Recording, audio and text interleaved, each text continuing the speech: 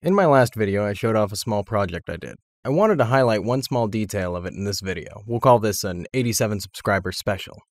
You may have noticed that the camera bobs about. This can be used to imply that the character is exhausted or simply make accurate shooting more difficult. An effect like this is often combined with the ability to steady for more realistic aiming. I'll be explaining how to do this in Godot, but the theory should apply just as well to any game engine that supports Perlin or Simplex noise. But first, let's up the resolution. I'll be showing this bit in 720 because my computer can't run the game and record in 1080, but maybe I'll get a better computer whenever I have that big YouTube boy money.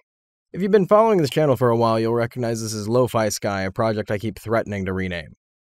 I've added a script to the camera like the one I wrote for Hour Harvest. All you need for this is a camera and a noise sample, but some scenery wouldn't go amiss. At this stage of Lo-Fi Sky, I have an island and some water that looks different in every video I upload. You can see the crosshair bobbing about in a looping pattern, I've exaggerated the range and speed for the demonstration, but it's fully customizable in the code, which you can see here. I've simplified the character script so that it's easier to understand. You'll notice that this doesn't even allow the player to move. The script consists of three parts, ready, input, and physics process. As you can probably guess, these are called when the node is added to the tree, when the player provides input, and when the physics are updated. I should specify that the physics process is not the same as the process function. The process function is called every update, whereas the physics process is called whenever physics are updated.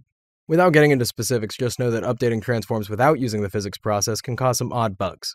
Anyway, looking into the declarations and ready function, you'll see that it's mostly just setting up the noise. I've specifically opted to use one octave each since this will allow the camera to swing more dramatically, but you can mess with these values as well as lacunarity, period, and persistence to get the effect you want.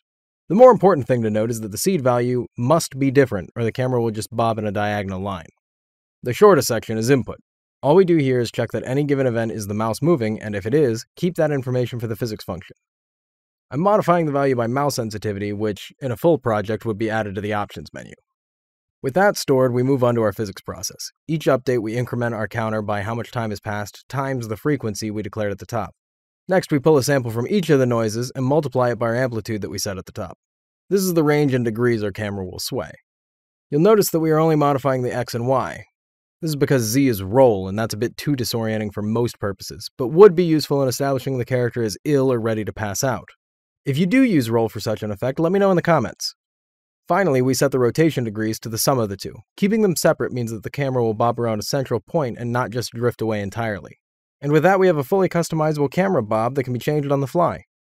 I really like making this first tutorial video, and I'd be interested in doing more.